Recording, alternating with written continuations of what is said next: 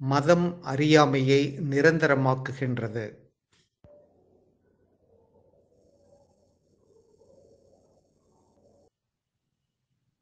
நீங்கள் தீவிரமாக படிக்கத் தொடங்கும்போது, உங்களுடைய உணர்வு விரிவடைகிறது.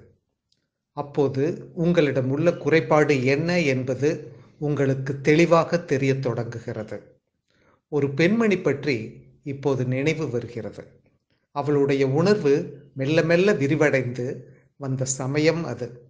அவள் என்னிடம் நான் உங்களைப் பற்றி கேள்விப்படுவதற்கு முன் எல்லோரையும் பார்த்த மாத்திரத்தில் நம்பி வந்தேன். எல்லோரும் என்னிடம் மிகவும் கனிவாக இருந்தார்கள். ஆனால் இப்போது உள்ளம் தெளிவடைய அடைய என்னுடைய அமைதி பறிபோய்விட்டது. தெளிவடைவது எவ்வளவு வேதனையாக இருக்கிறது என்றாள். இதற்கு என்ன செய்யலாம்? இன்னும் மேலும் மேலும் கற்றுக்கொள்ள வேண்டியது இருக்கிறது மேன்மேலும் உணர்வு விரிவடைய வேண்டும். அரைக்குறையாக தெரிந்து கொள்வது நன்மையை அளிக்காது. கற்க கற்க ஒரு கட்டத்தில் நமக்கு எதுவும் தெரியாது என்ற ஞானம் பிறக்கும். அதுவரை கற்றுக்கொண்டே இருக்க வேண்டும். ஓர் இளம் சாதகன் பற்றி சொல்லி இருக்கிறேன் அல்லவா? தனக்கு தெரிந்ததை மற்றவர்களுக்கு உபதேசம் செய்து கொண்டே இருந்தான். இனி சொல்வதற்கு எதுவும் இல்லை என்று ஒரு நாள் தெரிந்து கொண்டான். சரக்கு தீர்ந்துவிட்டது. எல்லா மதங்களுடைய நிலையும் இதுதான். அவற்றில் ஞானம் மிக குறைவு. வழிமுறைகள் என்னவோ மிக நேர்த்தியாக வடிவமைக்கப்பட்டிருக்கும். உண்மை இதுதான் என்று தீர்மானமாக வரையறுக்கப்பட்டும் இருக்கும். ஒவ்வொரு மதத்திற்கும் ஒரு புனித நூல் இருக்கும். வினாவிடை உருவத்திலும் போதனை நூல்கள் இருக்கும். இந்து மதத்திற்கு கிரந்தங்கள், இஸ்லாமிற்கு குரான் என்று எத்தனை புனித நூல்கள்!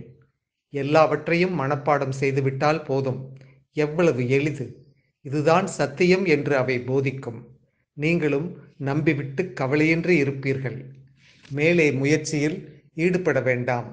புதிதாக எதையும் கண்டுபிடிக்க வேண்டாம். உனக்கு தெரிந்தது போல் தெரியாத மற்றவன் யாரேனும் இருந்தால் அவனை அறிவிலி என்பாய்.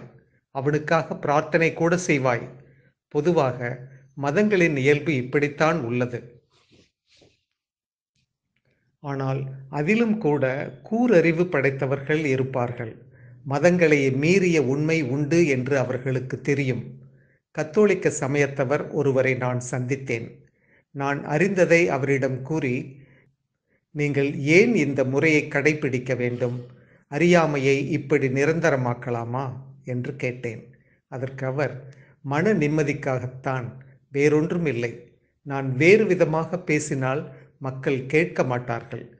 மதங்களின் ரகசியமே இதுதானே என்றார். அவர் மேலும் சொன்னார், பண்டைய நாட்களில் இருந்தது போலவே பல ஞானிகள் எங்கள் மதத்திலும் உண்டு. ஆதிநாளைய சாதனை முறைகளும் உண்டு. ஆனால் அதைச் சொல்ல எங்களுக்கு அனுமதி இல்லை. மதங்களில் கையாளப்படும் குறியீடுகள் எல்லாம் மதத்தை கடந்த ஓர் உண்மையையே வெளியிடுகின்றன. ஆனால் அதை யாரும் போதிப்பதில்லை. ஏன் போதிப்பதில்லை? காரணம் அவர்களுடைய கனிவான எண்ணம்தான். பெரும்பாலானவர்களுக்கு மூளை மிகவும் சிறியதாக இருக்கிறது. பெரிய விஷயங்களெல்லாம் அவர்களுக்கு புரியாது. பெரிய தத்துவங்களைச் சொன்னால் அவர்களால் ஏற்க இயலாது. அவர்களை வருத்துவானேன்? இதோ இது செய். உனக்கு சொர்க்கலோகம் கிடைக்கும் என்று சொல்லிவிட்டால் போதும். அவர்கள் மகிழ்ச்சியோடு இருப்பார்கள். இதுதான் அவர்கள் கொள்கை. அறியாமை இப்படித்தான் நிலைநாட்டப்படுகிறது. இது இல்லையேல் மதங்களும் இல்லை. மதங்கள் இருக்கும் வரை அதற்கு ஈடு கொடுத்து கொண்டு நாத்திகமும் நடைபோட்டு கொண்டுதான் இருக்கும். இந்த இரண்டுமே விலக வேண்டும். இவை இரண்டும் விலகி சத்திய தேடலுக்கு வழிவிட வேண்டும். அந்த உன்னத நோக்கத்திற்கு அர்ப்பணிப்பதற்காக இவை இரண்டும் விலக வேண்டும்.